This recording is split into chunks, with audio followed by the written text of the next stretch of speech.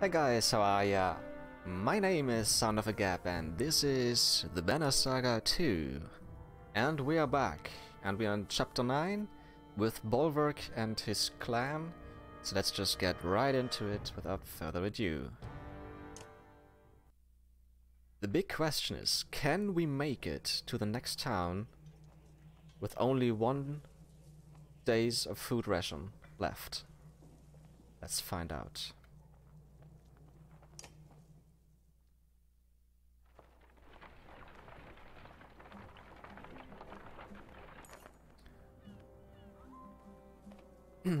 ravens in the air as ravens approach. Uh, ravens in the air as ravens approach. Ollie says with a slur. Is that a good sign? The small village ahead looks well fortified with a few bodies outside the fences being picked clean by the birds.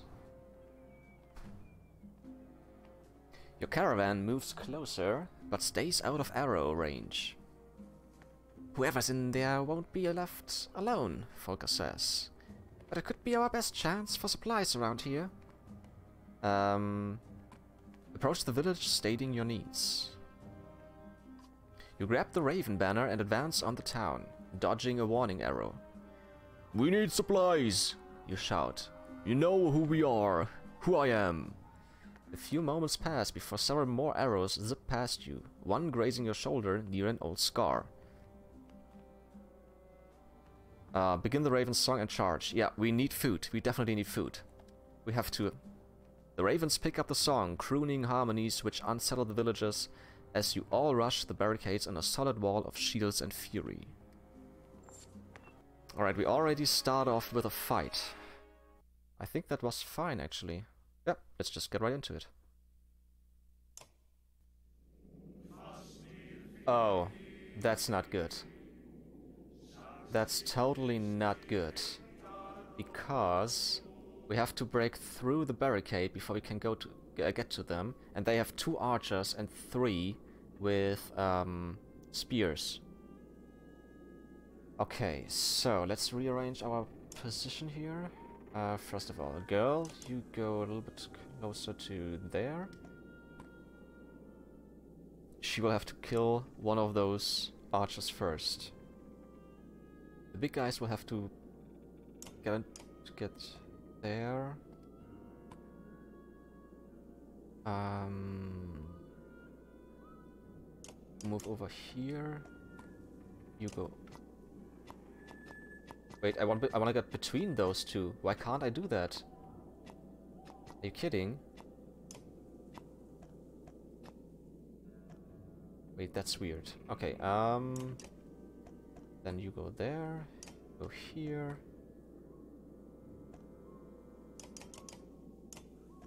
Go there.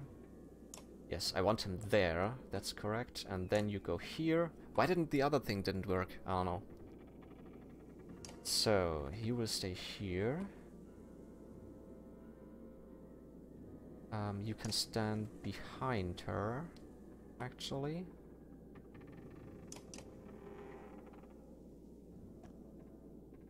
Can just stay... Yeah, let's... You stay there. Alright, let's just try this.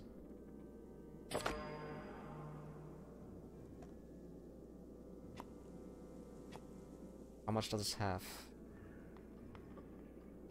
Let's just go here. Hit that with 11. Oh shit! Clear these Fane barricades, all of them. Why was he hitting him? God damn it. Uh, can we clear this too? Yeah, we can. That's nice. And she could... Wait, let's clear this one.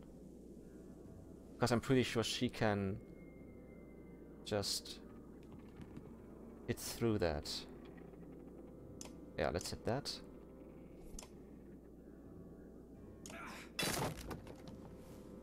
First archer. Armor, right?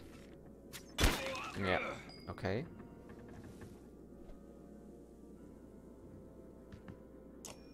If I do Tempest... let's try this. Nice! And I hit both, nice! Once again, the guy at the back.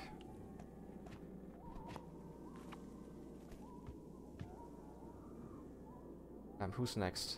He's be next, then it's her turn. Then it's his turn. Okay, that's fine. Let's attack the fence on the left. Okay. Nice hit. Armor breakage, okay. You just go here and attack. And you have some linkage, so let's use let's use that. You will hit him. Yeah, I knew it. Armor. Now it's his turn. Then it's his turn. Okay, I have to intimidate her. Or insult her. She goes back.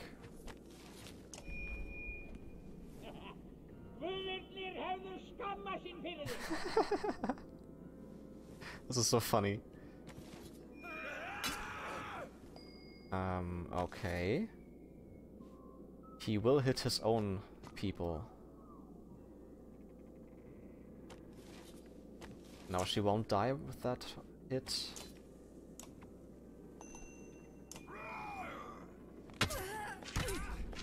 Who did you hit? Uh, what just happened? Yeah, I killed him. I knew it. uh, it's his turn. So, first of all, you will do that.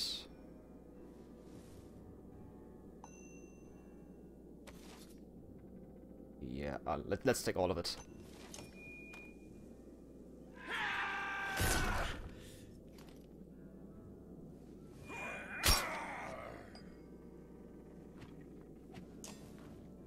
Kill him.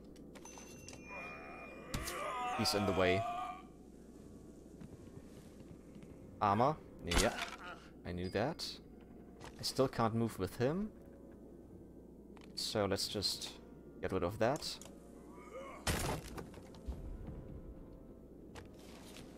He is getting him. Okay. actually, can I? I could kill him, but I don't need to, actually. Um, she's next. Yeah, let's hit her once again.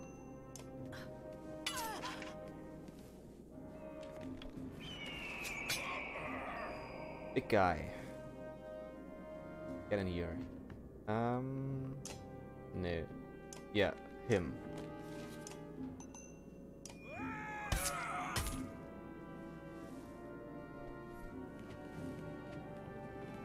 Can only do armor damage, that's okay. Uh...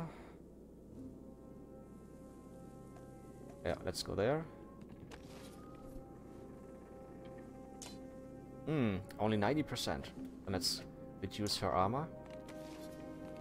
Although... I could just do that.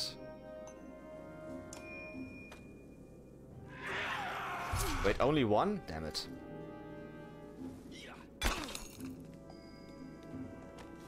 And you're dead.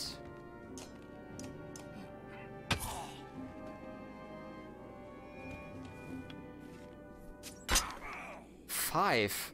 Are you kidding? Wait, if I go there... Actually, it doesn't matter. Let's just get rid of that fence.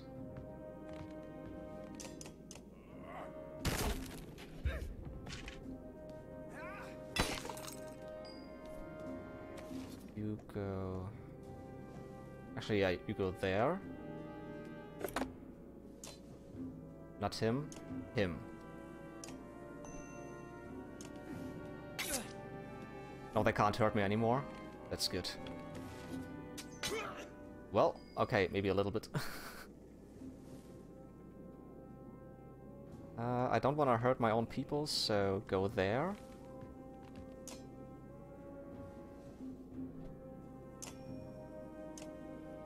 kill him. Wait, why is he not dead?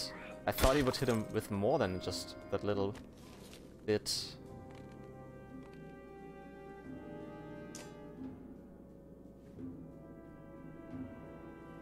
She is next. Yeah, go there and kill this guy.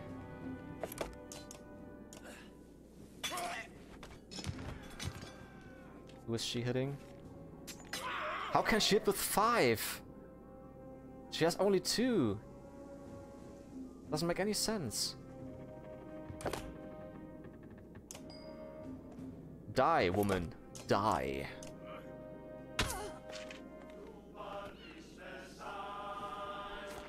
Nice.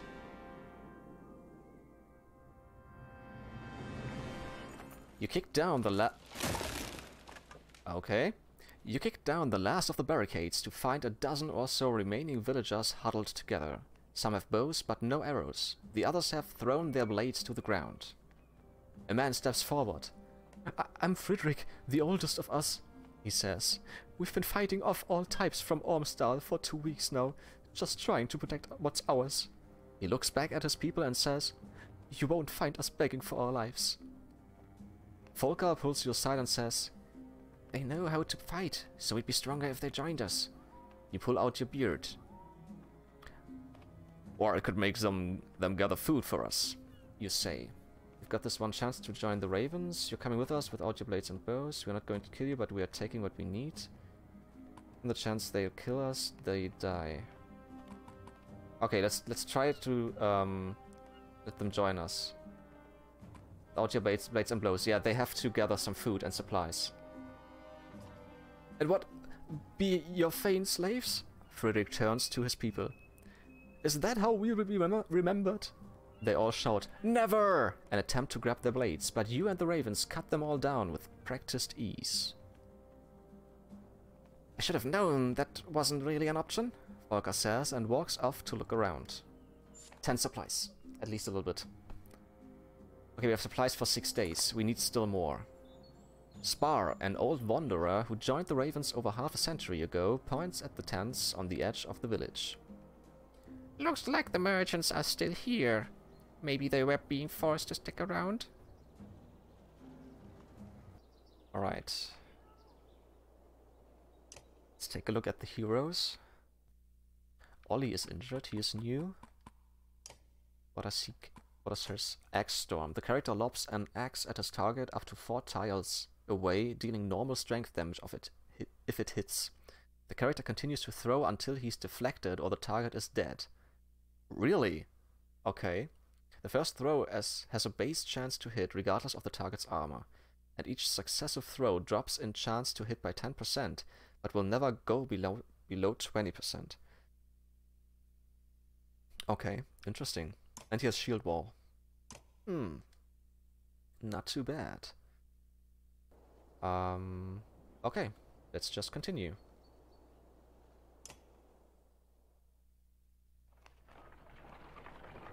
Some of our heroes are injured and need to rest in camp. A scout, a scout points into the distance with a smile on his face. Walking that direction, you begin to hear the strangest bickering between two Varl. Now you've done it, Ute, says one Varl with a large shield and spear. Kept on until others heard and came nothing nosing about. The other Varl glances your way, nods politely, and walks toward you while shouldering his axe. Don't mind my brother, Knocker. He's a warrior. Knocker steps closer and shoves the other Varl with his shield.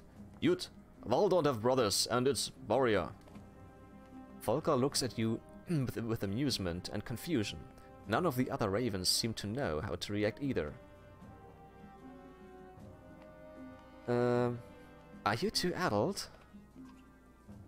Not the nicest way to say hello, Knocker says, extending his hand in greeting. And if we were adult... Um, and if we were adult, you'd, you'd add, stepping forward and swatting Knocker's hand, would we have even know it? Knocker says, Well, you wouldn't yet, but I'd know. The spectacle continues, and most of the ravens are now laughing at the absurdity. I'm not sure what... I'm not, I'm not sure what you're after, but we are not sharing food. Yut shakes his head. We're not after food, are we, Knocker? Knocker says, No, well, yes and no. Yut agrees. Yes and no, that's right, we'd fight with you. Nocke interrupts. For you, he means. He means. Yud looks annoyed. Nocke, we'd fight for food, but we'd fight with this lot. Um, you can join if you'll shut up. Thank you, Nocke says, but Yud slaps a hand over his brother's mouth. Several mercenaries snort, trying to hold back laughing. The two Varls smile like fools and fall in line. They seem like good lads, and I really hope they will be.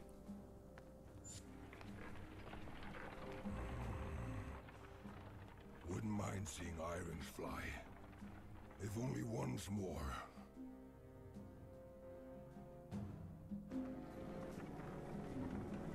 Oh, where are we now? Remember the last time we saw this fool foul, eh? Blood axe? Shut up.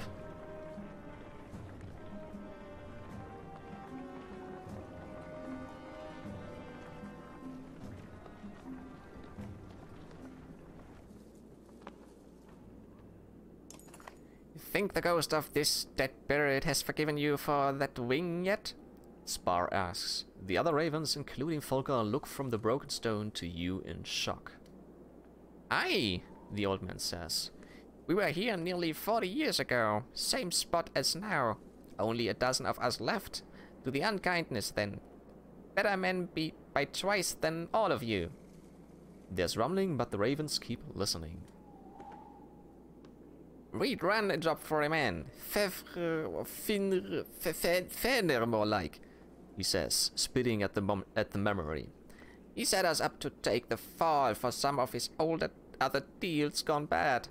We got surrounded here, and this bear of a Varl loses his mind, grabs a tree, a whole tree, and starts swinging. Spar starts coughing, but recovers. Nearly killed us all. But all earrings took a hit like no other, and there you have it. The excited ravens start asking you questions, but Spar is all too happy to answer. Uh, study the bird-shaped stone.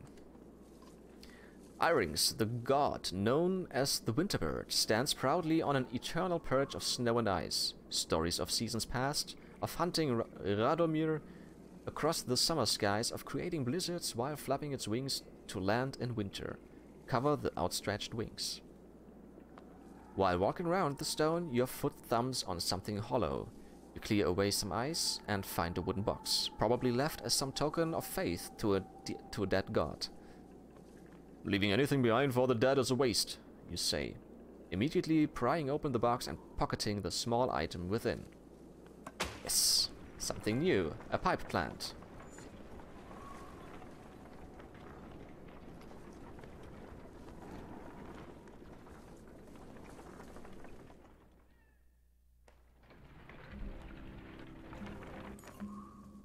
Cold creeps under your keeps under clo cold creeps under cloaks and forces the ravens to huddle together as wind whips around you.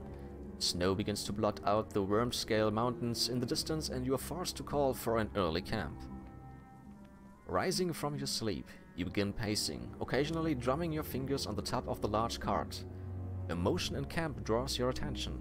Walking towards it, you hear groans and see Folka's shield rising and falling erratically among some furs. Humans! You snort, but the shield flips away, revealing a dredge grunt staring up at you. Stepping back, you bump into another dredge. Looking around, the entire Raven camp is a swarm of stone-armored bodies desperately reaching for you. When your axes lash out through nothing, you realize you were dreaming. An unexpected sadness swells in you, like you've let everyone down. I didn't even know he could feel sadness like that. A few of your ravens are watching you, smirking, but your growl makes them look away. You decide to walk the perimeter alone while everyone else slowly awakens. Around to hear you yelling! A harsh voice reaches your ears, followed by the laughter of several others. Your abrupt halt alerts Folka, who immediately signs, uh, signals the ravens to fan out and draw their weapons. Investigate, yeah, let's see what is happening here. Over the next rise, a group of ten haggard fighters and a few Varls surround half a dozen peasants, and a broken wagon. A woman spots you and shouts, Help us! But a, but a punch to the stomach drops her to the snow. The fighters turn, ready to fight. Uh, okay, so they have a black banner. They are the Ravens. Um, let's be mean. Just give us what's in the wagon. Ha! One man says. We were going to eat what's in that wagon when we finished with these folks. We're starving. Run away now or die. That's the Raven Banner, brother, another man says. This ain't the fight we want. The others agree and the leader resigns to backing away slowly. A few ravens follow them a ways while you deal with the women and wagon. Thank you, the woman who was punched earlier says. I'm safer. I know you don't want us around, but if you're heading toward Bindal, we'll follow your path. Um. Fine, but your food is ours. Payment for saving... Payment for saving you, you say. The woman nods her understanding, but to your surprise, the wagon is nearly empty. We'll keep our distance, Safer says, but we'll be behind you. You grunt and walk off. One supply. Mm. A couple of Raven scouts take off to check out the cluster of tents ahead. Refugees from Ormsdal, one of them says upon returning. They've got a sizable camp and them and seem disciplined. They know we are here, the scout adds. No sense in trying to avoid them. You take the lead and approach the refugees. A hooded man with a red spear greets you. I just, first thing I thought with the red beard. My name's Buck, and this is Lofen. You are Bolverk of the Ravens, and is this your wife? You are confused as much by his question as by the fact that no one is with the man.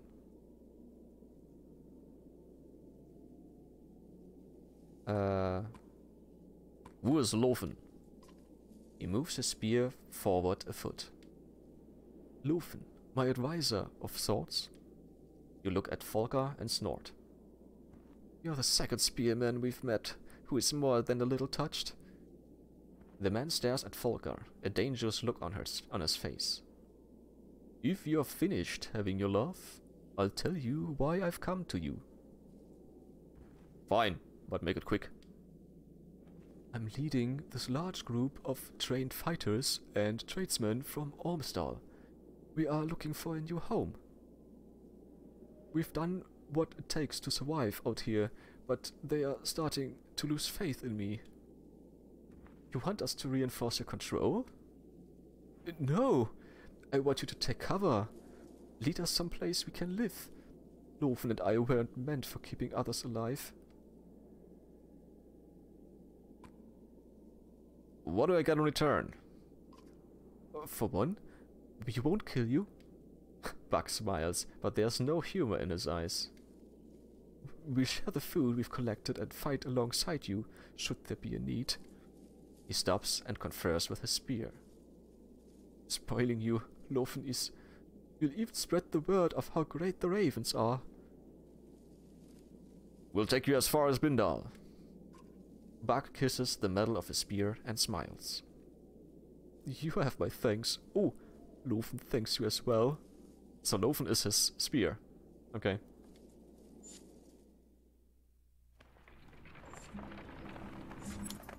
The unyielding, the unyielding snowfall is proving too much for the humans who now vainly attempt to follow your large footprints. In truth, the sky and your surroundings lack enough contrast to know where you're going. And it's cold. Trees over here, Folka manages to say, motioning with her spear. The foliage blocks some of the wind, but does nothing for visibility. With no other options, you burrow, burrow into the snow, cloaked in your bear fur.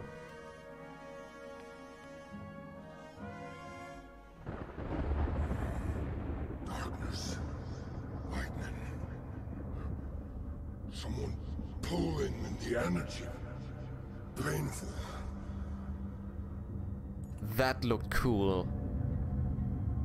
Verk! Wake up, you damn bear! You're being robbed!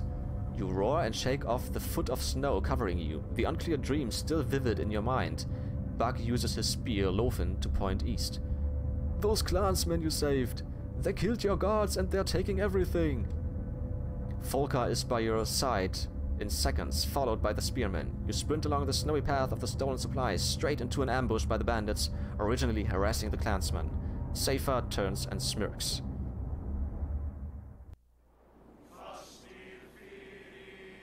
What, it's just the two of us? Stealing from the ravens, you must have a death wish. Okay, I have... wait. Ulrich is starting.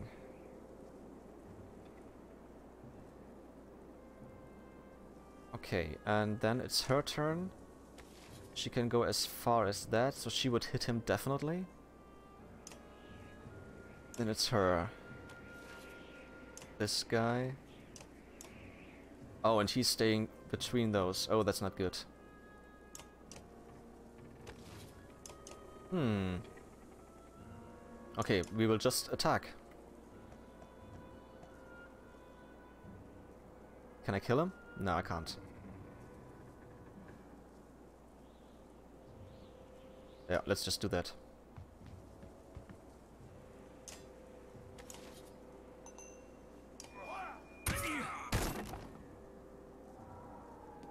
Is she hurting? Uh-oh, that doesn't look good. Um, yeah, let's go here. We could save him a little bit. Oh, this is one of mine, okay. I can't hit her. Yeah, let's do that. You go there. And champion. Let's go for two. I don't know what she was doing, so let's just go for two. Ah, she was speeding them up. They can walk further. That's bad. Um, it was just his turn. He has only three left. I should attack her. Yeah, let's do that. Oh, pig sticker, what is that? 20% to crit, adjacent allies at percentage. Okay. Nah, let's just attack. Actually, we could just kill her. Let's do this.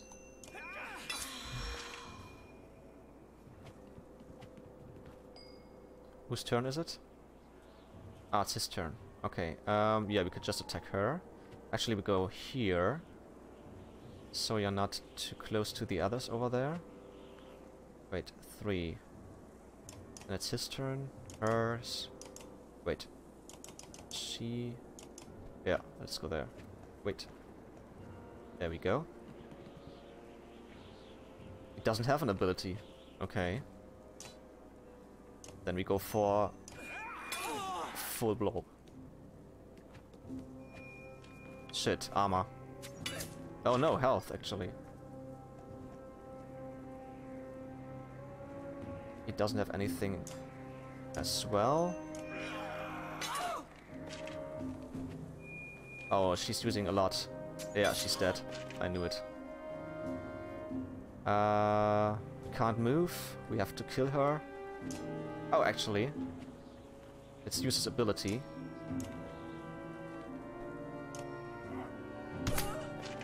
And he's again.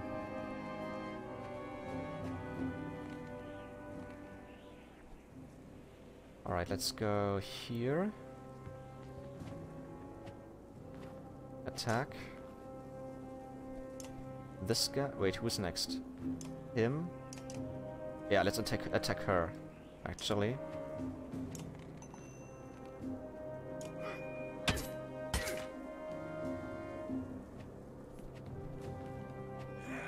armor.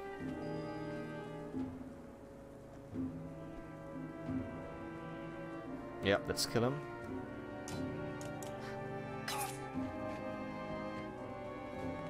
She is going to shoot whom? Him. Okay.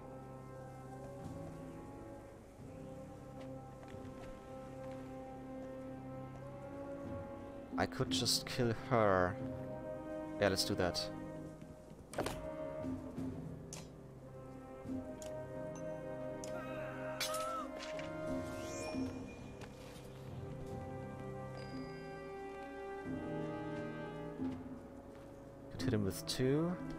Go there. Actually. There we go.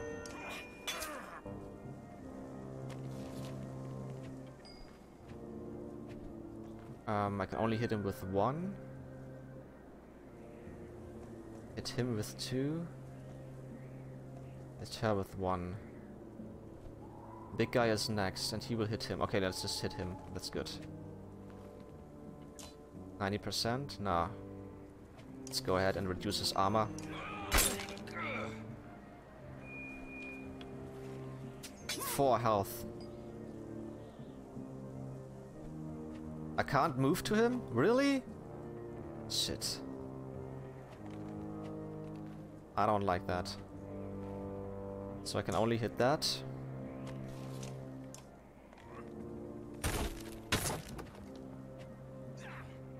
Yeah, another one is going to die. Three, four. He is next. Okay, let's hit him.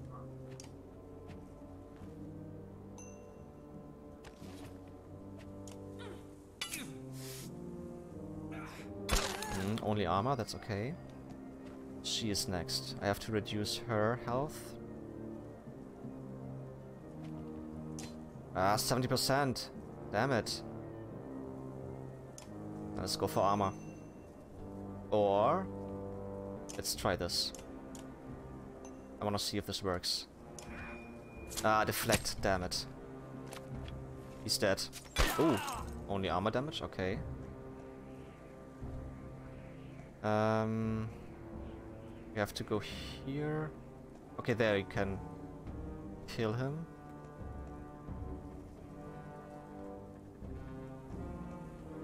Yeah, you go there.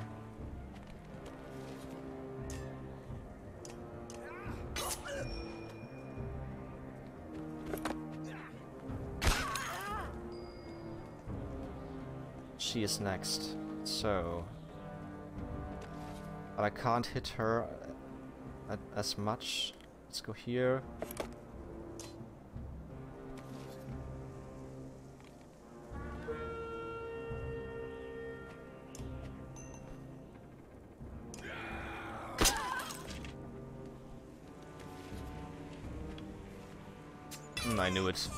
I knew it.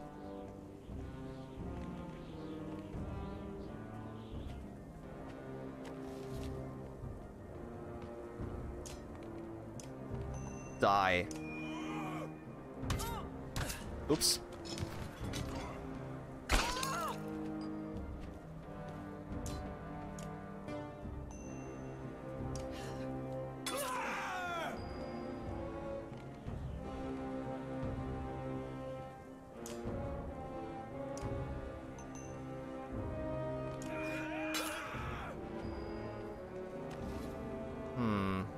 Can't hit him.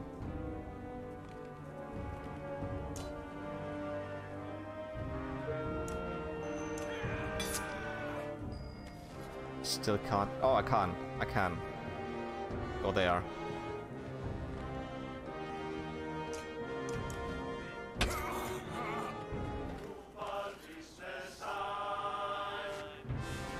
Well, I lost a few. Safer's wounds are great, and she whimpers in the snow. You nod to Folka, who dispatches the bandit, the bandit archer, with haste. This is what helping folk gets you, you roar. Grab all these supplies and bring them back to camp. You tell the ravens after hoisting a barrel on each shoulder. Did we just lose renown? Damn it. So let's just continue.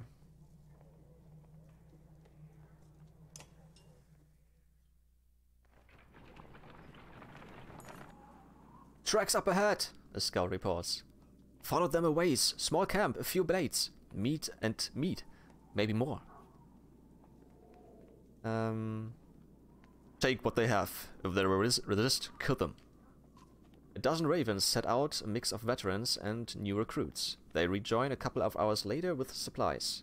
You hear one of the fighters muttering, Takes the fun out of things when they give up their goods so easily.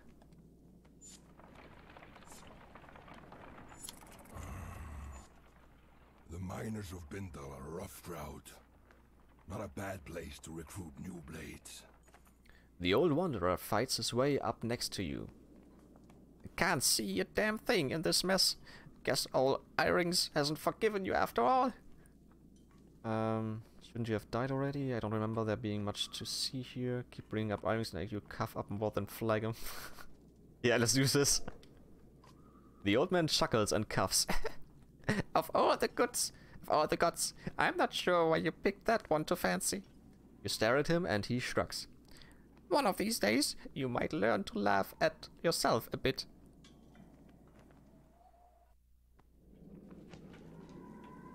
Hmm, okay. All of these people are looking for food and a home. And I'm looking for ale. Is that too much to ask? I bet that Scout Tower already sent word of us. The text is just too quick. I can't read everything if I want to do it in a special voice. the snowstorm is worse than ever as you arrive at the walls of the mining town of Bindal. Ach, Bindal, not Rindal. Okay. The gates are closed and you beat a fist against them. Open the Thane gates, you shout. From the wall, two menders look down on you, then recede. Soon the gates open enough for a half for a half dozen well-trained guards to greet you. Their one-eyed captain points and says, Just you. Folka steps to your side. Not alone, she says. Um... She comes with me. The captain takes a moment to assess the situation and nods. Before following him through the gates, you bark commands to other ravens to stay close and vigilant. Inside the small gatehouse are the two menders from the wall, a woman with a fancy spear and a cup of a man holding a staff. Valka, Zephyr, it is the Raven Banner. So it seems. But why here? Why now? Just passing through on our way to the Blue River, but this blasted storm caught us. Plan to come back this way afterwards for more work, but now we need some food and a place to hole up. We brought some people with us. They need a new home. I'm sure it felt like the right thing to do, but we are already beyond our capacity here. Are you Bolverk? Bolverk Blood Axe? Hold your tongue, Nichols. What do you know about me, boy? Uh, I've heard all your tales. I can't believe your cold beer. Cold bear cloak is real. Is it true your axe handles are made from your own horns? The older man now places a hand on the young man's shoulder. Wow, I never knew I was traveling with such a legend. You ignore her. Are you in charge here? Who's... where's the governor? The governor left for Arberrang a while back with most of the fighters to settle a dispute. The Mender Council sent me to bring the people of Bindal west, as we've heard too many rumors of Dredge. More than rumors. We were in Boersgard, saw Bellower. The Immortal Sunder? How did you escape? Immortal was a joke. He's dead. Nichols' eyes go wide in awe, but Zephyr looks pensive. What about the great rift that opened between Boersgard and Irmsdal? We managed. Zephyr looks like she wants to press you for more information. Enough! Open the gates for my ravens. Mercenaries will only panic the people. With everyone from Ormsdal, it's all I can do to keep them from stampeding like wild ox. Fine, we'll camp against the leeward walls. Thank you. You have all the assistance with your shelter, Valka, and her assistant can give you. Funny you won't let us in when we are on a job for one of your own. You snarl at Folka for saying too much. She shrugs in response. I'm not aware of another Valka being out this direction. Who has tasked you? You know. Zephyr steps back at the name and studies your face for a moment. Nichols, You and the guards see what you can do outside the walls for the people. I'll see to it, and make sure the ravens are comfortable. The young mender nods respectfully to Zephyr and grins at you and Folka before leading the guards through the gate. I'm inviting only the two of you to stay within our walls and enjoy a bit more warmth and comfort. Good, but try anything and my ravens will level this place. Then welcome, and no one is going to try anything. There's no need for such mistrust. Maybe, but I shouldn't have to tell you about my job from your superior just to get an invitation. My superior... No, you misunderstand. You have no job. The Valka known as Juno is dead. Chapter 10 To Speak in All Tongues. And now we switch back to Alette and her crew, or clan. Yeah, and we are on the way to Arberrang still. The once energetic Mender approaches, looking both worn and troubled. Look at that. He really looks older, way older. I I'm not sure I thanked you for the time to recover. I've never woven a spell that strong before. Are you sure you're ready to move on? You look... I know. I, I caught my reflection earlier. It's a more mature look. The Mender grins, and a hint of his former youth shines through. Not everyone would have stopped for so long, especially with the ground rumbling like it has. Uh, we're all people in need of help here, so we'll get here no matter how long it takes. Your floating bridge cost a lot of lives. Do you know what's causing the ground to shake? Okay, we are all people in need of help here, so... You, you've grown up to really care about everyone here, Alette. It's a gift, and I hope you never lose it. He weaves a bit more on the armor. Have you given any more thought to my offer? I think some mending could really be benefit you. You consider his offer. Sure, it might really help someday. Yeah, I would like her to be a mender. That's really nice. I, th I think so too, and you already know more than you think. I doubt it will take me long to teach you the basics, but you'll have to practice as we go. I'm placing some patterns on your bow. Trace them with your thumb at all times. Practice. Memorize them. Understanding will occur later.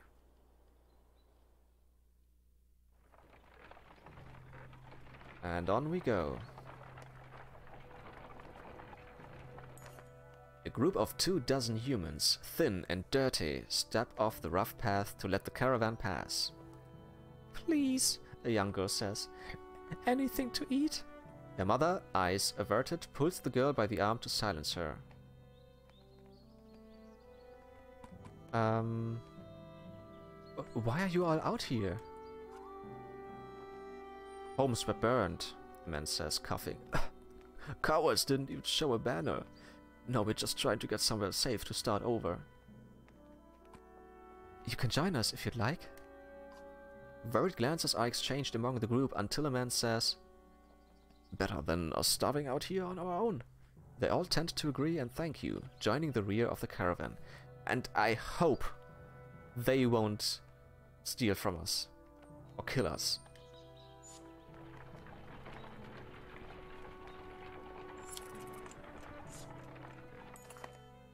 Easy boy, a clansman shouts as a Yox cart nearly topples to one side.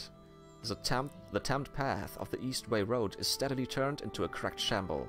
Looking ahead, it only gets worse. Various chasm, chasms gape like open mouth. You glance back to Ivar, who looks at you and shakes his head. The entire caravan comes to a halt. We'll be eating our belts before finding a way across this broken road, especially with this many. And there's no telling how far we'd have to backtrack to head north. Then we'll head south, across the Ormsa, Ormsa riverbed. We can head towards Grundar and on west. Tryggvi peers around Hakon's elbow before coming fully into view. Heading south is questionable. Those people... Uh, why do you say that? Maybe I spent a lifetime there. Plenty of things to eat under logs, but there's also people in the bogs. His eyes go wide. The Skald should hear my rhyme. But what's wrong with heading south? Different ways of living, old ways. Stick to the mud, and cracksmen are less bothersome. I think he's talking about the boggers, the rough, backward people of Swartzborg. Tryggvi frowns at Ivar. Words like that can find you swollen, filled with poison. He puffs out his cheeks and stares at Ivar. This is why Varl tend to keep to themselves. Each human is crazy in their own way. Tryggvi hunches over with laughter until he suddenly stops, sniffs the air, and marches away. Strange, but it's a fair warning. We are crossing over into lands most of us have never seen.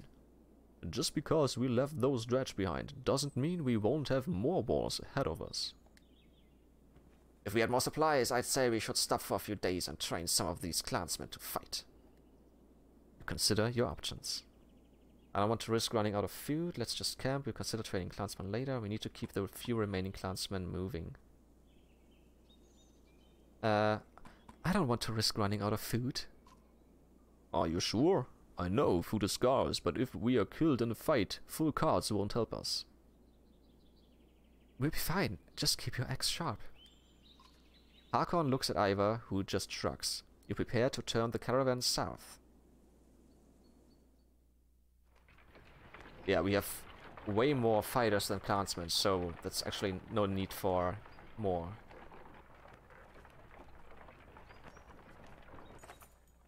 Game trail! One of a few gathered hunters says, looking at a beaten path of grass. No telling what we might find down it, but it will fill some stomachs. Make a wager for who brings back the biggest kill. Yeah, let, let's do that.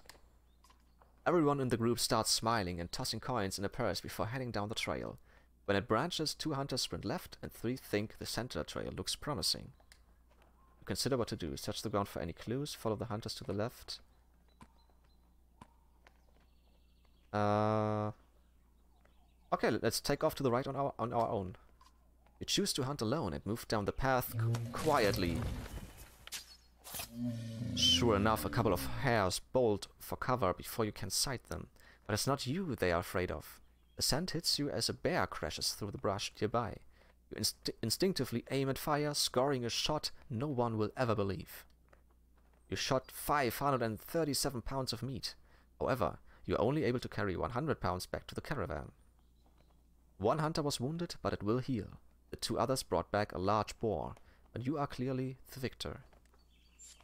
You give everyone back their coin and drinks are shared while the injured man, man's leg is mended. Later, the entire caravan enjoys the stories of the hunt while feasting. Come on, morale has to go up. Yeah. Once you cross the Ormsa riverbed, the wind ceases to cut through the humid air. The darkening sky lets loose its rain and soon fat drops of water turn the dirt path to sucking mud, slowing the caravan. Cloaks are pulled overhead and children and animals are wrangled near the carts. I was hoping to avoid visiting this part of the kingdom for at least a few more years, Prince Ludin says. At least others have had the sense to abandon this cesspool. As arrogant as he sounds, he's right. There are very few signs of life around you, yet you still feel like you are being watched. The lowing of the usually quiet yox indicates the beast's difficulty pulling the carts. You are up to your knees in, in it when a scout comes to you. Found some stone markers that led us to a few paths of solid ground over there. He, he points while shouting over the yox. Uneven and bumpy, but easier than this. Stone markers? Yeah, the man says. Don't look natural, don't look like much of anything else either. Just some stones marking a path through the, this place is all I can figure.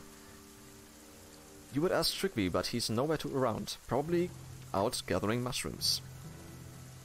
Um,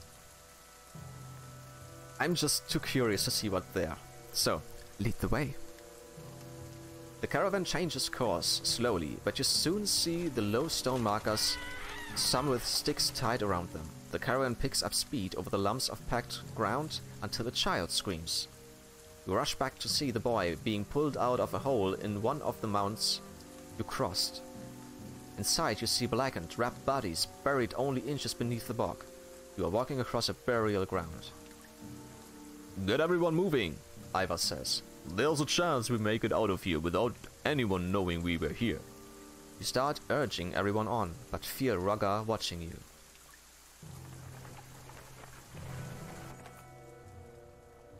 They're all around us, shouts a man near the edge of the caravan, and we're stuck in this mud. Cracksmen have encircled you. Their leader steps forth and shouts, There is no price but blood for crossing through the land of our dead. Shouts ring out. Uh, shouts ring out. They are preparing to attack. Um, send Trickery forward to parley. Didn't I tell you easy isn't always easy? Tryggvi says. He looks nervous, a reaction you have never really seen from him before. What if they listen to me as well as you do? Uh, do what you can so we can ready an attack. Tryggvi looks you in the eye for the first time in memory. Best to only sleep once in strange places, he says before spinning on his heel. He marches out across the bog, hands held high in peace. Your fighters take this opportunity to get into a better position, shoving clansmen further into the center. Please don't die, Tryggvi. A few cracksmen surround Tryggvi. Oh no! While he addresses the leader in his animated fashion. The man allows him to finish before shouting, He's forgotten your ways. Welcome home, boy. Those surrounding Tryggvi pierce him repeatedly with spears before you can lead your charge. Shit. It looks like the force you trained is roughly the size of the enemies. This could either go away, okay. The whole box seems to move with the approaching cracksman. Eirik, the warden from Strand, says, I know this sounds mad, but they are bringing battle-trained bears. If we weaken one, it can make it ours. He smiles at your confusion. Ask the governor of Strand. They are helpful in certain situations. Ask the governor of Strand. They are helpful in certain situations. Hakon grows. We could lose our lives and he wants a new pet? You consider what to do. Okay, Eirik, but this better be worth it. We'll need to clear the battlefield except for one bear. Then leave the rest to me. This is crazy, but... Okay. The battle begins with Eirik smiling. Okay, now I have to have Eirik in. Alright, let's try this.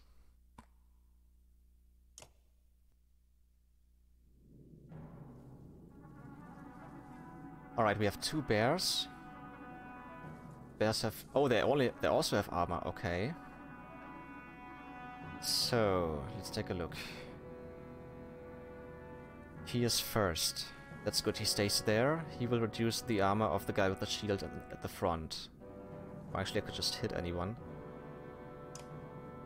Um...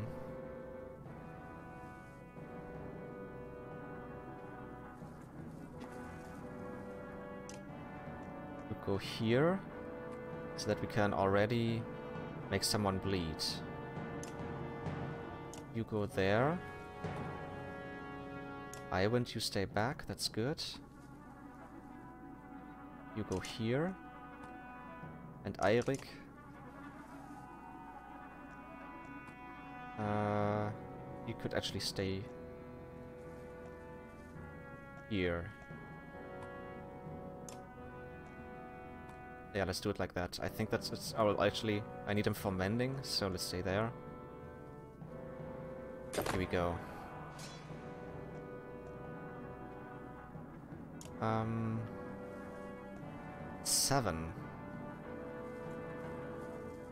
Who's first? This bear is first. And then this bear. But he can't reach me. But he could. Okay, I have to I have to attack the bear. There's no other choice.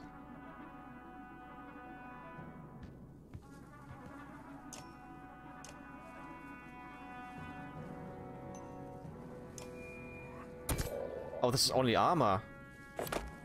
Damn it. Leave the bear to me. It's all for nothing if we kill it. Uh, the other bear is next. And he's gonna go to the girl. Okay, and then it's this guy. Let's go here.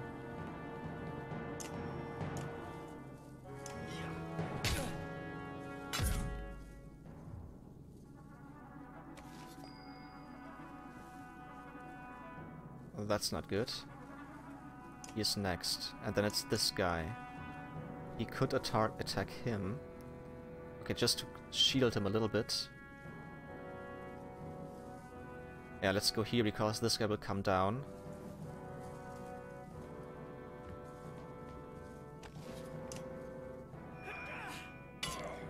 Fane Bears, what next?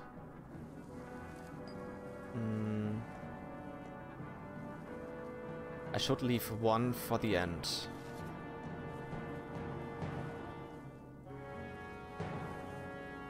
It's him, but he can't hurt. And then it's her. Okay, let's go here and use flail on the... On this guy. No, no, yes.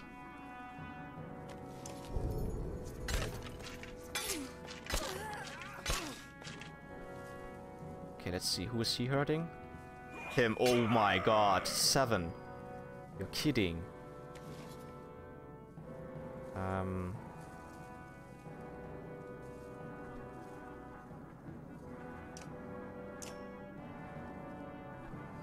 They are all clustered together. I need to hit somebody with lightning. Wait, how far can the bear reach? There, so I can go three paces. One, two, three. Actually, that's fine.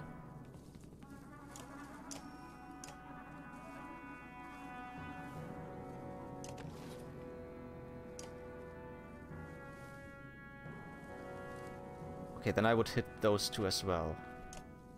There I wouldn't. I wouldn't.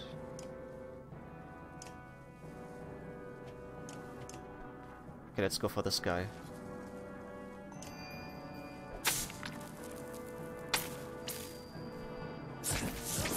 Nice. Good hit. Eirik. What can you do? Capture a bear. Okay, this is a specialty. I need one willpower for that. Gives willpower to allies. Hmm. I don't like it. I don't like it.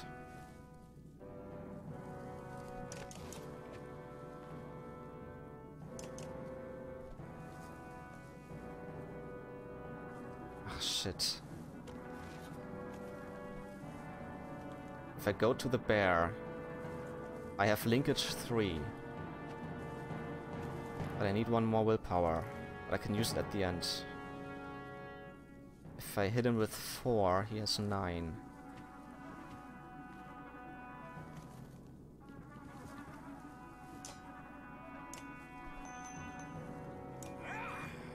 Wait, armor? No, I wanted to reduce his health. Why did I hit his armor? Shit. Uh, okay, it's the bear and this guy.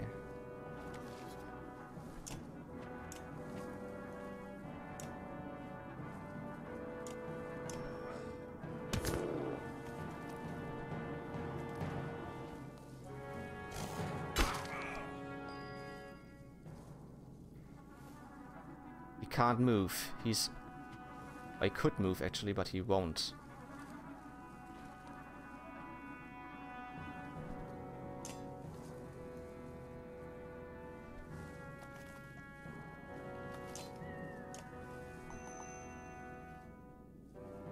Yeah.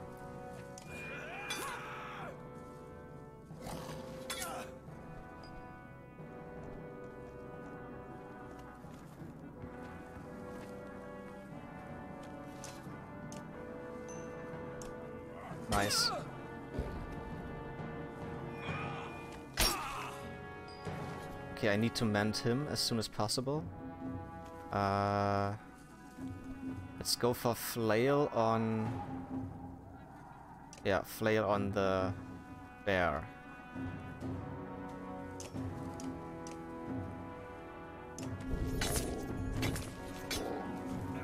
He absorbs the hits? Really?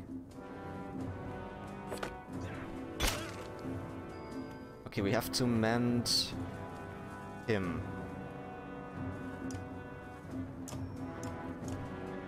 With as much as possible.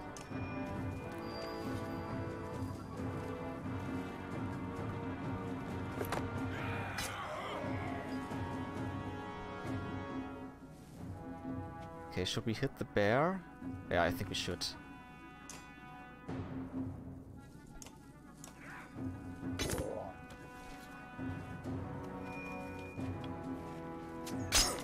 Was armor.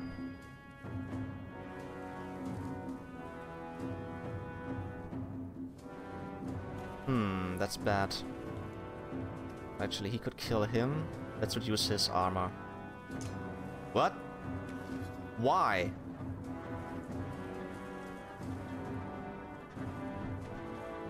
Oh, oh, it's a bear. No, I don't wanna go for the bear here. This guy.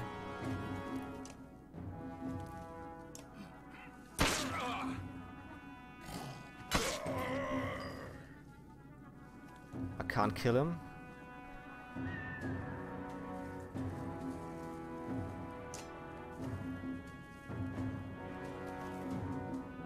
Yeah, let's do that.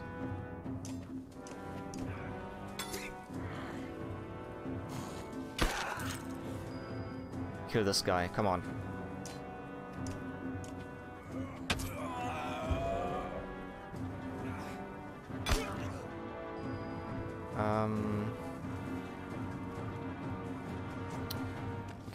One bear alive.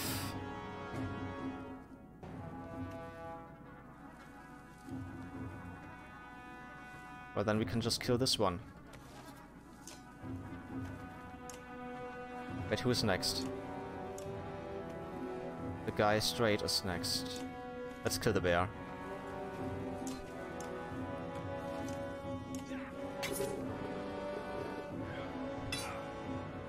Uh, mend?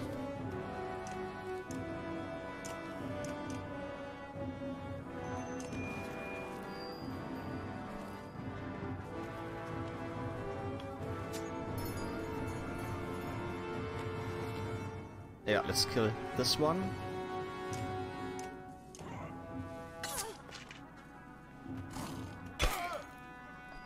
Uh, I still need the bear alive, so let's just kill the guy next to him. Oh no, I can't do that. Um, Sundering Impact on him.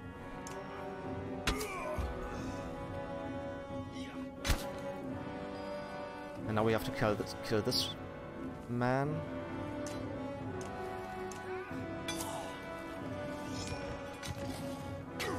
I really he killed him? Ah, damn it. I can't hit him, otherwise uh, it's over, and I need to catch him. So... What, what was Battering Ram? Knock the target back through multiple tiles, doing armor break damage. Wait, I don't have armor. Uh, he doesn't have armor, so let's just rest. Uh, Hakon. 11, that's too much. Um, then just go here for some Okay. Um. Okay. Mend. Oh wait, how much does my lightning?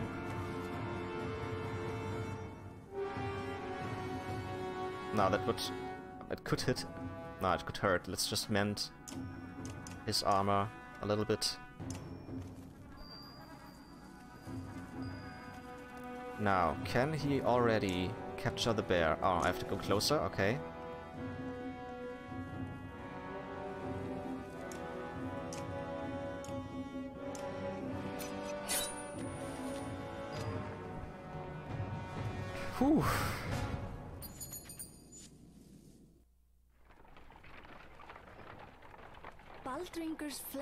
Welcomes endless war.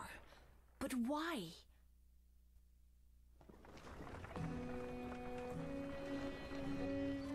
Even though the petrified flame sword of our vile friends.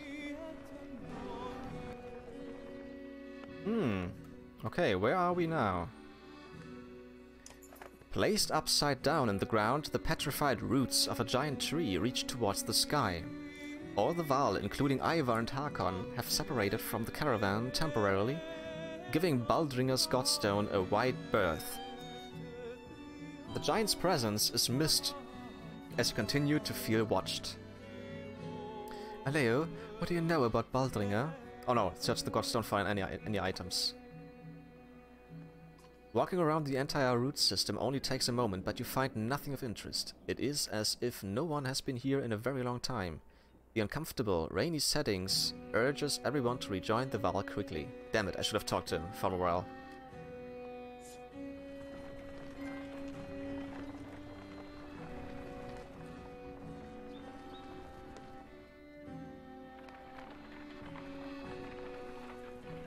The rain finally ceases, but the wind picks up. You squint into the gusts and have a clear view of the vast plains ahead. There doesn't seem to be much out there, Ivar says. His tone conveys wonder and concern in equal measure. But there is a city, Grundar. The ground shakes again. Enough to cause the yox to strain at their leads in panic. Out here in the plains, with nothing but open sky above, you feel remarkably vulnerable. Only a few trees around and no mountains, Hakon says in a weary tone. Looks like we only have to worry about the ground opening up beneath us. He shrugs at the look you give him. Grundar almost looks forgotten by the rest of the world. Maybe those who live here have forgotten the rest of us too. In a field just outside of Grundar, the caravan spots several creatures you assumed were myth. I don't believe it. Are those... Two horseborn hold simple, bronze weapons and stand guard over a few others who look wounded, unable to rise. The size of the caravan makes them nervous. I have to get a closer look. Me too. The two of you advance a hundred yards, showing every sign of respect and peace. A number of clansmen push closer too. The male horseborn stomps a hoof repeatedly. The female, tail whipping, brandishes a javelin. Damn, the caravan is scaring them. Um... Everyone, move back! Your sudden shout spooks the female horseborn. She throws a javelin which, spin which pins the ground near your feet. Several archers fire, but their shots are wide. Hold! No more arrows! The male says something in what sounds like a long stream of consonants. The female lowers her second javelin. We just want to help. The male's tail swishes. You? Help? His voice sounds strained, and his mouth moves uncomfortably around the foreign words. Yes, help. Oddleif steps aside as you wave to Ivan for help. The female looks agitated. She speaks in their strange way. The mayor responds to her, then turns to you. Help! Roek and others. I'll try. This is certainly a first. The standing horseborn step aside, allowing Eyvind to approach the wounded fighters.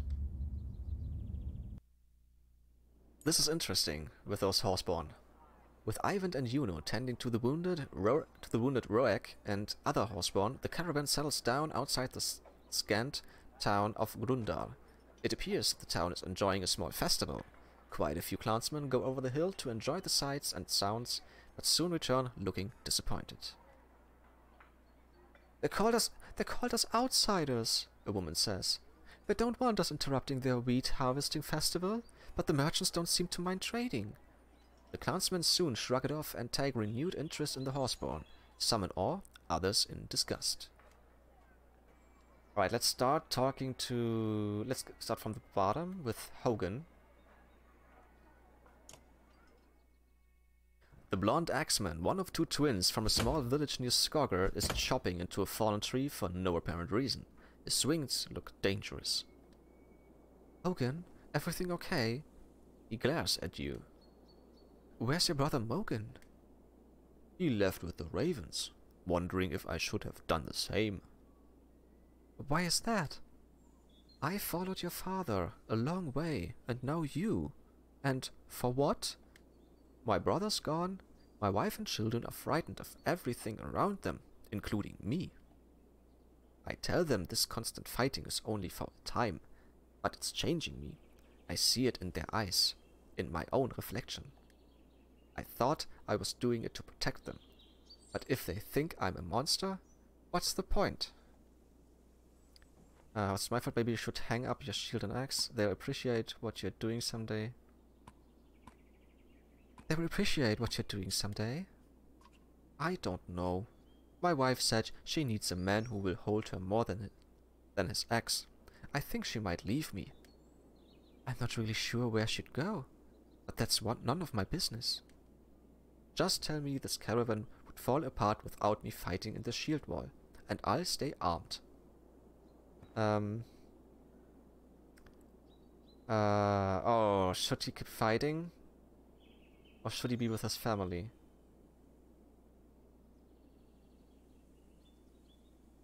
I like his flail, but I have other fighters. Oh, let's let's let's let, let him be with his family. Be with his family. Hogun sighed with relief and nods. Well, I'll still be around, but I'll be busy playing with my kids. Thanks a lot, and be safe out there when you're fighting. Yeah, I think this is a better choice. Family comes first. Ludin.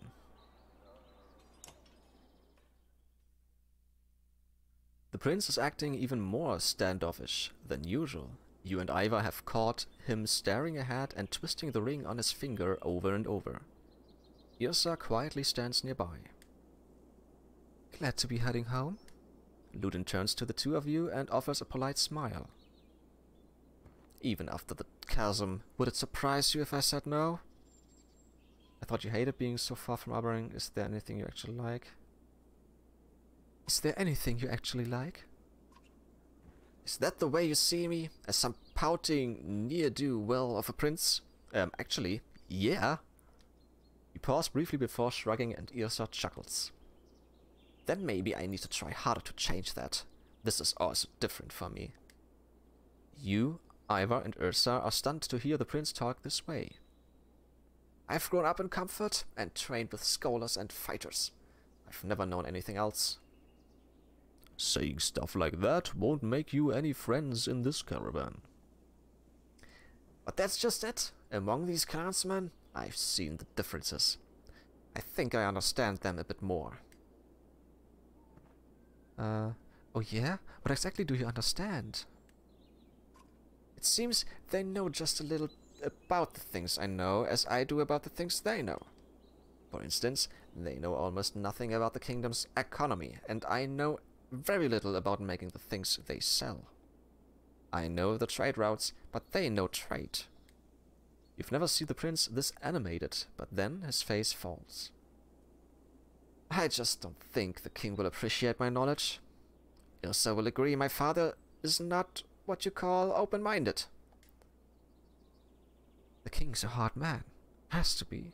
But his son is his weakness. Um... The prince is the king's weakness? Don't listen to her. Watch your words, prince. What? I wasn't telling you what to do. An awkward, icy moment passes between the prince and his bodyguard. Meinolf was fearful of sending Ludin away, so he sent his two advisors to watch him. You are one of King Meinolf's advisors? Yrsa gives you a weary smile. Regardless of who you sent to protect me, I had no say in the matter. Kings usually have to make tough decisions and stick with them. Maybe someday you'll see why. I know. I just don't think you care for my ideas on treating with peasant commoners. What would you like to be called? We're all people, Prince. Even you. You have a charming way of humbling me. Yrsa rolls her eyes. Just keep an open mind about your father, the way you'd like him to have toward your ideas. That's something I've never considered before. I'll think on it. As Prince Ludin and Yrsa walk away, you feel Ivar watching you. What? When did you become so full of sage advice? Since I started listening to you? Gods, don't start making that mistake. The two of you share a smile before moving on. Those two are a great couple. so, let's talk to that guy. I got his name. I don't know if he even told me his name. Scathatch. Scathatch? I, I would say Scathatch. Thank. You glance at Ubin, who nods and smiles. Scathatch thanking you for helping his friend Roek. Deirdre's the other one, but she's not in the talking with Varl and Human's mood. You're welcome. I'd like you to meet Hakon. Scathatch's tail sweats, sw sweats his flanks, and he bows his head towards Hakon. Varl, Mance, same herd? No, but we are no longer enemies. I haven't seen Horseborn in centuries. Last they knew, humans and Varl were at each other's throats. Um, what brings you so far north? Scathatch looks confused by the question, so Ubin shows him the map pointing to Dalalond and Grundar. Food? Our planes? Break? Hakon snorts. Might be justice. Didn't they kill all the horses, Scrivener? His ancestors did, yes. But blaming folks for things that happened hundreds of years before they were alive? You may as well accuse these humans around us for starting the Great Wars. What happened to Roek? Roek, a brave fighter. Protect food. Hit many times. Hit? Who was attacking? Scathatch says many things in his other language. Trikante!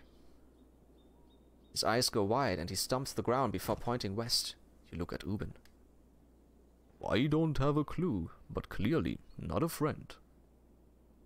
Was the people here? Here in Grundar? Scathatch looks where Hakon is pointing. He shakes his head and points west again. The Valking eyes Scathatch suspiciously. How do you know your our language? Scathatch just stares at you. You talk like us. Where did you learn? Heard little trade with months in mud. I think he means our bog friends, the Crocsmen. We found the food you were seeking? Enough for time, my guess. Two others take to herd in south. His hoofs scuff the ground during certain words. Just those two? What about you and the couple? Uh, Scathatch Roek Deirdre stay. This hurt help. We help his this hurt. That might not be wise. Scathatch speaks quickly in his foreign language and kicks his back legs out once. Not that I'm a translator, but I'm guessing they are honor bound to return the favor. I think you are stuck with them. Hakon looks at you and shrugs. No getting around demands of honor. What else? Let's take a look at the heroes. Scathatch, Roeg, and Deirdre. Trample. The horseborn charges forward and tramples an enemy, then attacks from behind. The enemy suffers strength damage during the charge, is subsequently stuck for one strength per tile the horseborn move before the trample, and his left and is left concussed, suffering 20% on his next attack. Ooh, that is great. That is great hit and run. The horseborn takes his normal movement, then can attack or take another action. Once the action is complete, he can move again up to three spaces. No willpower may be spent on the second move. This is awesome. Mule Kick. The horseborn delivers a, a devastating kick with his powerful horse's legs, uh, horse's legs, damaging the target's armor, sending him flying across the battlefield and leaving him stunned when he lands. Any other unit unfortunate enough to be in the path of the flying enemy suffers a violent hit as well. Be careful who is in the knockback path.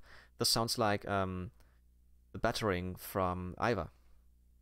And yes, hit and, hit and run as well. And Daredevil. Poison tipped. The Horseborn uses a javelin tipped with a deadly poison to make sure her enemy doesn't forget her after the initial sting of her attack passes.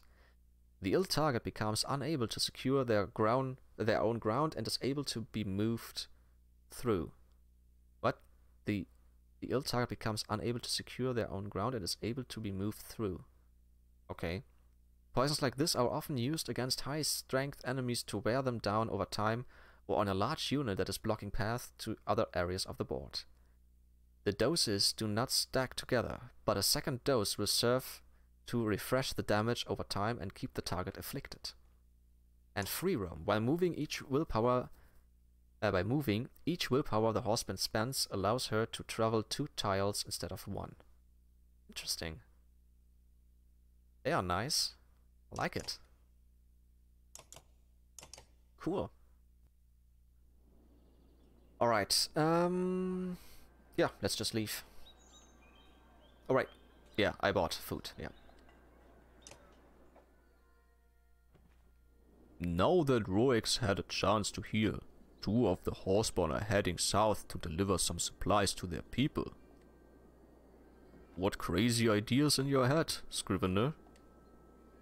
With the world falling apart around us, there may not be another chance to track down south. Um... Everyone's free to do what they want, but you'll be missed. Remember that when it comes to dealing with Rugger as well. If he wants to depart, by the gods, let him. Then be safe, Ubin, and join us again if you can. You know where we are going.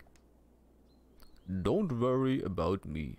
Just make sure you are alive to see this thing through to Arberrang. Farewell. Oh, he's going. Scrivener says a few more goodbyes before departing with the Horseborn.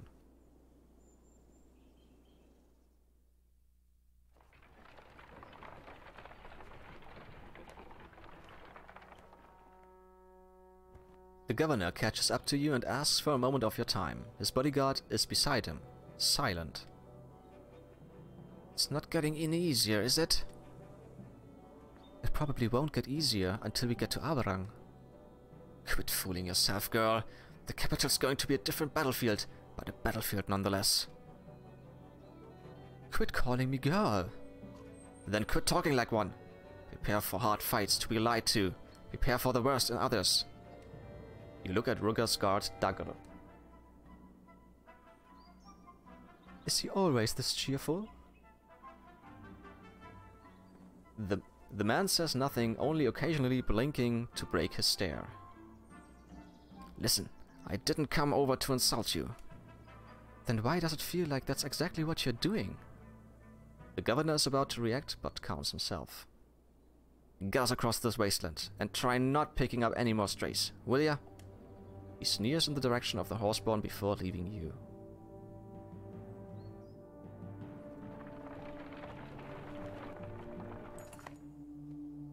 A few of the weavers have been smiling more than usual lately, and now you know why. Aleo leads, leads children out from behind a cart in new costumes. Some have horns on headbands, while one red-headed girl wears a green cloak like yours. A boy, wearing a red cloak, is carrying an axe. The entire caravan gathers around to watch the performance. The young actors stand behind a short wall and discuss an approaching dredge army. As a black cloth rolls across the ground in front of the actors, a young man in red armor stands up and shouts, Bellower. This is a, a reenactment of the Battle of Boersgard. Oh yeah, continue watching. A dark-haired girl holding a spear says, We'll get no help from the governor. We're on our own. A few people in the crowd laugh while Rugger stares at the skald. The young Rook, Alette and Varl run towards the fierce bellower, attacking and being repelled. Finally, the girl dressed as Juno hands Rook a silver arrow. Rook hugs Alette and shoots the arrow. Bellower roars. Stand and watch the ending. Bellower grabs Rook by the throat and growls. You sense heads, uh, heats in the crowd turn. Nee, head, no. You sense heads in the crowd turning towards you when Aleo and uh, Weaver suddenly snap the caravan's banner in front of the scene like a curtain. As the banner lowers, the young version of you cradles the boy dressed as your father. The other actors stand in a semicircle around you and begin singing a familiar tune. The crowd joins in, and an impromptu line forms with everyone walking by to lay a hand on your shoulder.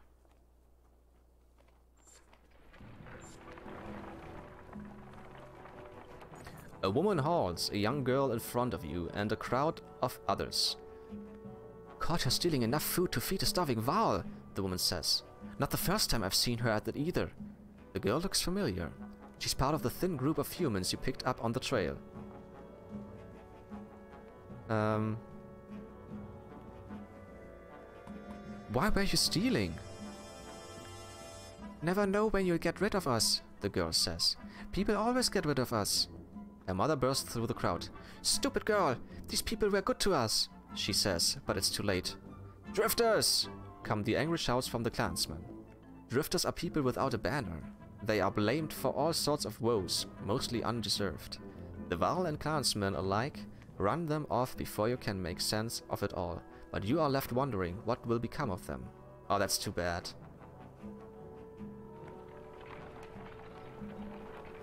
Ahead, the caravan comes to an immediate halt. That's the second faint shoe this bloody beast has thrown in a, in a day, the Yox tender curses. It will take some time to see to the Yox, so you call for camp. While most of the clansmen sleep or lose themselves in drink, Juno requests a moment to speak with you alone. I'm impressed so far, Alette. You've managed to keep your composure through tough situations. Thank you, not to pain you with further comparison, but to remind me of your father at the Godstone of Stravs.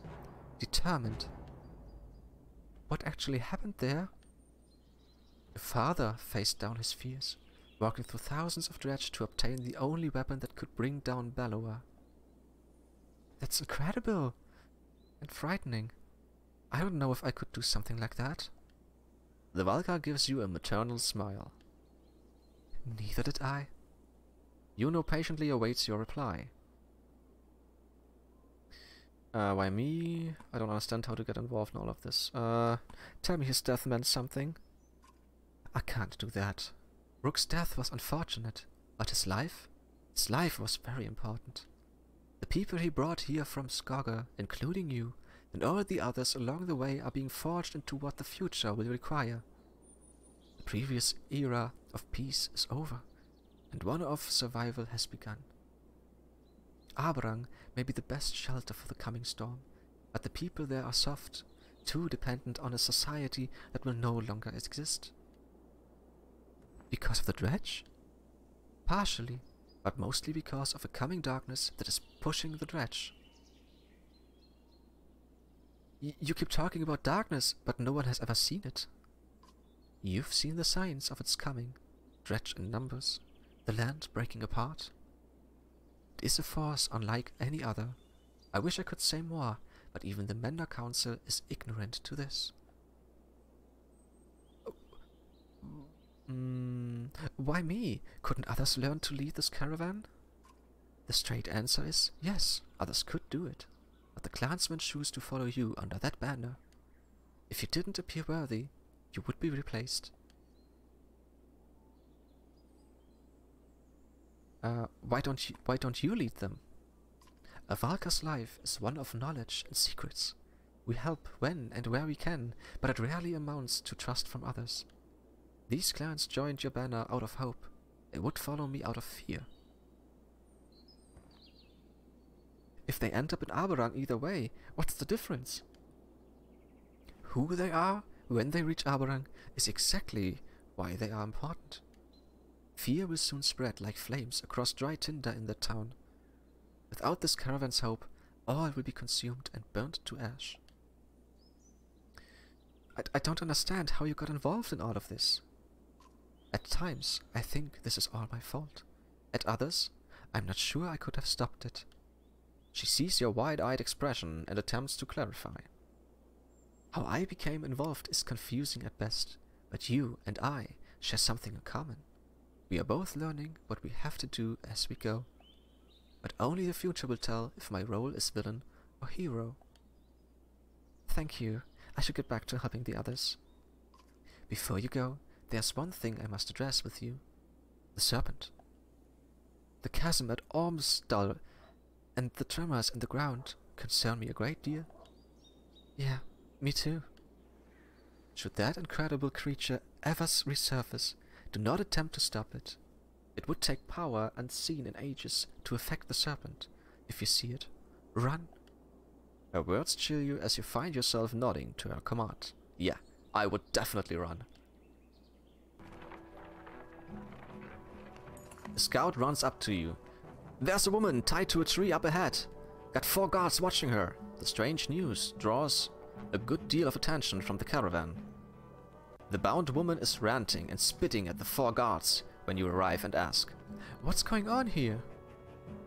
This here's a witch, one guard says, plaguing our clan, making everyone really sick, but we caught her and brought her way out of here. The others not. She's to be tied here for five days without food or water, then cut loose. Been three days so far.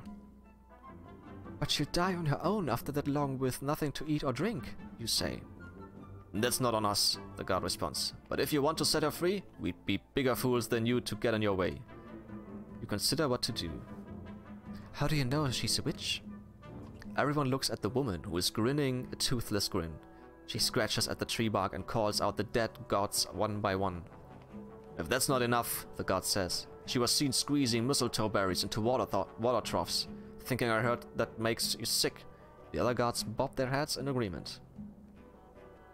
Let her go, she can join us, let her go and everyone go to their own way. I don't like it, but this isn't our concern. Yrsa, any thoughts? Yrsa smiles and saunters toward the tired woman. She says a few, a few quiet words to the prisoner and looks her over before returning. My suggestion? She says, burn her and the tree to the ground. You consider what to do. I don't like but it's not our... Okay. Don't let her go. We don't like it either. Uh, we don't like it either, the guard says. But thanks for leaving us to it.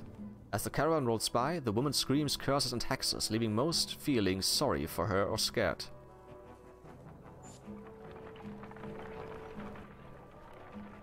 You notice the archer, knit, because she is standing perfectly still, looking out into the distance. Let me guess. Let me guess, you see more grass? When she turns to you, she's not smiling. Dredge, she says quietly. How is this possible, you ask, knowing better than to doubt her sight. I thought we lost them at the, at the chasm.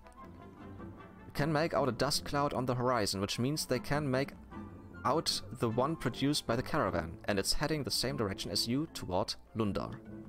The Valkar walks to your side and says, I was afraid of this, the cracks in the ground along the Eastway Road.